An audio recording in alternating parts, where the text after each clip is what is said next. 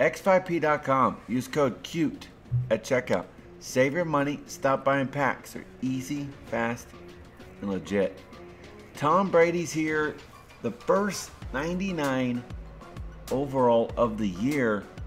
And yes, you need this power up to put the Patriots chem. So keep that in mind. And this card gets five abilities, and that is what's going to separate him from other quarterbacks. So Tom Brady is going to be really tough to stop if somebody's just throwing from the pocket. But obviously, guys, if you need a scrambler, don't get him. If you need somebody, a mobile passer, you like doing rollout passes, stay away from him. Right now on PS4, he's going for 670k and 630k on Xbox One. His price really should go up. He's not in a set, he's not in packs. Okay?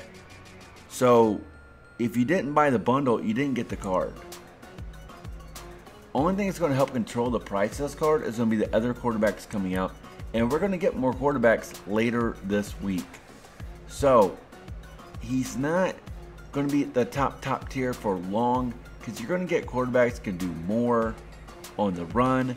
And that's going to be a game changer. For example, if you had a Vic running down the field, that might pick up your first down that, well, Brady can't. So, let's get into the field. Let's see what he can do here. His releases is an A, guys, on the run in the pocket, on the move. It's great. No huge animation. And there's Brady trying to take off and, of course, get down. He will put the ball on the ground, obviously. And he has a great ball speed.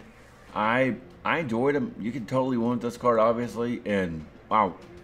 For a pocket passer, he's in game. And he's got to be the best pocket passer in the game. So, Tom Brady, if that's your guy, go get him. You know what you're going to get. He's the most basic guy to review because he's played the same for so long, right? Under pressure, he's an A. He's not going to be making wild throws. He's not going to just cost you any games. So leave him in the pocket. Just kind of set it and forget it. Get your chems on him and go have fun especially a Buccaneers fan. Congratulations last night, Super Bowl champions. And I would say Tom Brady right now, if you want the abilities, he could be worth the price tag, depending on how many coins you have. On the run is a B plus. He can hit, he can miss. There's not a hundred percent chance on that. If you want a guy to throw on the run, you have Vic, you have Russell Wilson, and so on. So don't use him for the wrong thing is what I'm trying to tell you because it will cost you uh, possibly but can he make a couple yes so overall guys Tom Brady it's an A right because he's missing scrambling mobile he's missing a couple things here but for what he is he's A you have to say he's S tier because what he can do right with his abilities so he's an S tier quarterback. I'm to have a tight end tier list coming out today. I'm going to have the best players on offense by position and defense coming out today. So I'm to see you guys in those videos. Take time to be kind, and I will see you